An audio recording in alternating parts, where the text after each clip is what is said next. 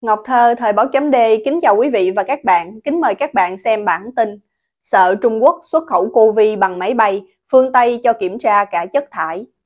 Ngày 7 tháng 1 năm 2023, đài VOA loan tin một số quốc gia sẽ giám sát nước thải trong các chuyến bay đến nước họ từ Trung Quốc để đối phó với việc dịch Covid bùng phát trở lại tại Trung Quốc. Các quốc gia được VOA liệt kê bao gồm Mỹ, Canada, Áo và Úc. EU cũng dự kiến sẽ làm theo sau khi có khuyến nghị từ các quan chức y tế và Hoa Kỳ cũng đang xem xét việc này. Hình ảnh bài báo của VOA nói về việc xét nghiệm nước thải trên các chuyến bay từ Trung Quốc. Cũng theo VOA, biện pháp này không ngăn chặn sự lây lan của dịch, nhưng nó sẽ cung cấp một cái nhìn tổng thể và có thể tìm ra các biến thể mới. Bởi vì những mẫu này cung cấp một cửa sổ về những gì hiện đang xảy ra ở Trung Quốc. Theo ông Anthony Flaholt, Giám đốc Viện Y tế Toàn cầu tại Đại học Geneva, được VOA dẫn lời.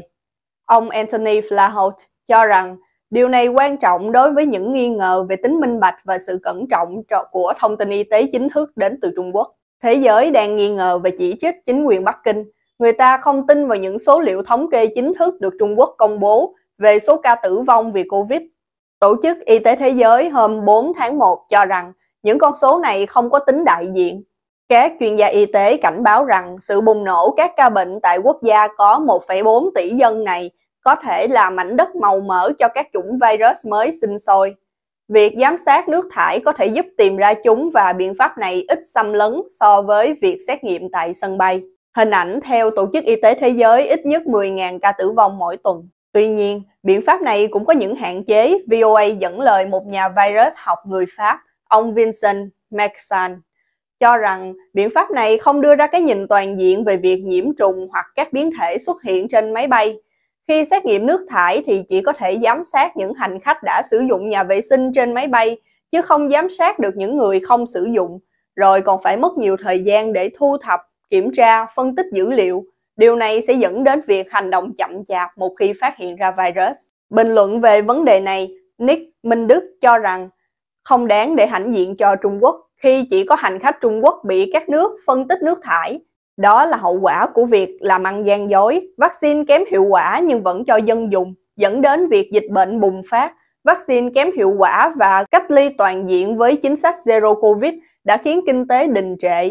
Chính là do Tập Cận Bình muốn làm ra vẻ Trung Quốc là cường quốc, không cần các nước khác giúp đỡ. Các công ty nước ngoài đang tìm cách rời bỏ Trung Quốc. Một số nick nặc danh khác thì cho rằng Tập Cận Bình muốn dùng Covid để khủng bố nhân loại, hoặc Tập Cận Bình muốn dùng Covid để giải quyết nạn nhân mãn. Trung Quốc là nơi đầu tiên bùng phát dịch Covid vào cuối năm 2019 và đến nay khi thế giới đã bước vào giai đoạn ổn định hậu Covid thì Trung Quốc vẫn còn đang phải vật lộn với đại dịch này và thậm chí tình trạng hiện nay còn tồi tệ hơn thời điểm mới bùng phát. Tuy chính quyền Trung Quốc luôn bưng bít thông tin nhưng những hình ảnh về các lò thiêu tại Trung Quốc bị quá tải, các bệnh viện bị quá tải vẫn lan tràn trên mạng xã hội. Hình ảnh một số bình luận của bạn đọc VOA. Xảy ra tình trạng này, đúng như Nick Minh Đức nhận xét, đó chính là do sự kiêu ngạo quá mức của Tập Cận Bình và Đảng Cộng sản Trung Quốc. Họ luôn che giấu nguyên nhân thật sự của dịch bệnh, cũng như từ chối mọi sự giúp đỡ của bên ngoài. Họ chỉ sử dụng vaccine do họ sản xuất và từ chối tất cả các loại vaccine khác Tuy nhiên, thực tế đã chứng minh vaccine của Trung Quốc hoàn toàn không hiệu quả. Khi các loại vaccine bắt đầu được đưa vào sử dụng đại trà, chính quyền Việt Nam cũng dự định chỉ nhập vaccine Trung Quốc và làm lơ các loại vaccine của Anh, Mỹ. Tuy nhiên, chính sách này đã vấp phải sự phản ứng mạnh mẽ của người dân. Tuy không có những cuộc xuống đường rầm rộ như hồi 2018, nhưng vào năm 2021, nếu đến các điểm chích vaccine mà thấy đang sử dụng vaccine Trung Quốc, thì người dân đồng loạt đứng dậy bỏ về Cuối cùng chính quyền Việt Nam đã phải nhượng bộ và các loại vaccine Anh, Mỹ đã được nhập về. Quý vị và các bạn vừa theo dõi chương trình cập nhật tin tức của Ngọc Thơ thời báo chấm D với bản tin Sợ Trung Quốc xuất khẩu Covid bằng máy bay, phương Tây cho kiểm tra cả chất thải. Quý vị và các bạn hãy chia sẻ video này để nhiều người cùng biết, cũng như bấm nút đăng ký kênh youtube và facebook của Thời báo chấm D để được cập nhật những bản tin mới nhất, nhanh nhất và trung thực nhất. Ngọc Thơ, Thời báo chấm D, kính chào quý vị và các bạn, kính mời các bạn xem bản tin. Việt Nam giam giữ nhiều nhà báo hạn chế truyền thông độc lập. Ngày 29 tháng 12 năm 2022, Ủy ban Nhân quyền Thơm Lantos thuộc Hạ viện Mỹ đã kêu gọi chính quyền Việt Nam trả tự do cho nhà báo độc lập bà Phạm Đoan Trang.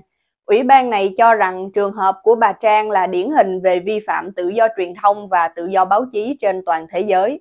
Đài VOA tiếng Việt đưa tin trong một bài viết đăng ngày 5 tháng 1 năm 2023.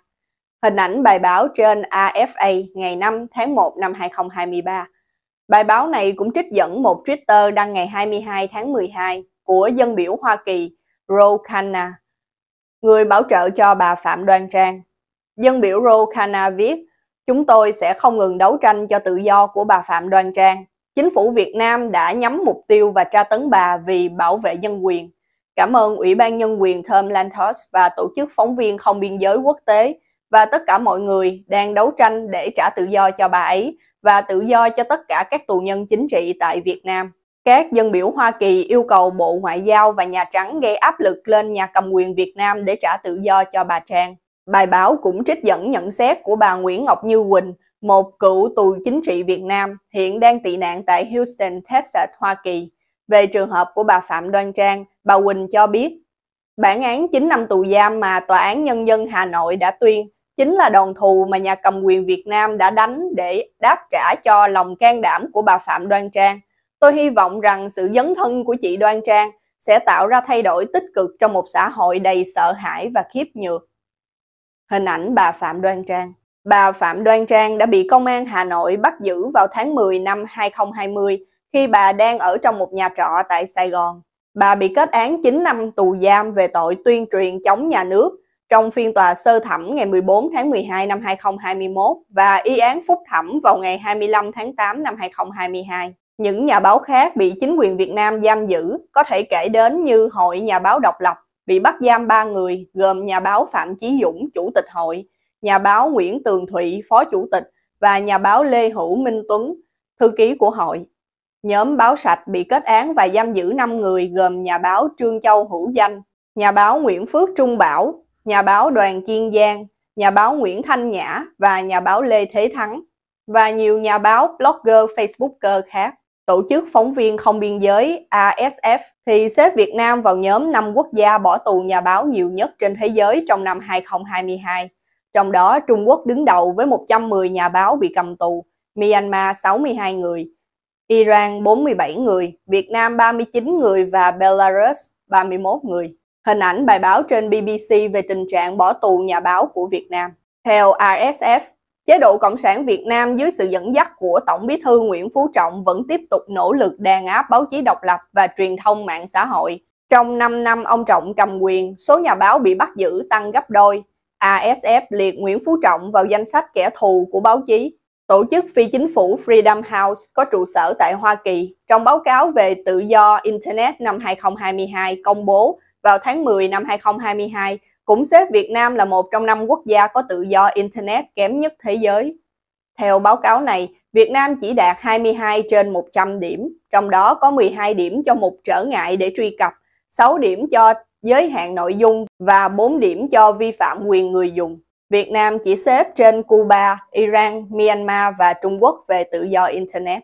Trong một tuyên bố vào tháng 10 năm 2022, chính quyền của Tổng thống Joe Biden khẳng định Việc thúc đẩy nhân quyền là một yếu tố thiết yếu trong chính sách đối ngoại của Hoa Kỳ và là chìa khóa cho sự cam kết liên tục của chúng tôi với Việt Nam trong khuôn khổ đối tác toàn diện. Chính quyền Việt Nam luôn bác bỏ việc họ đang giam giữ tù chính trị hoặc tù nhân lương tâm.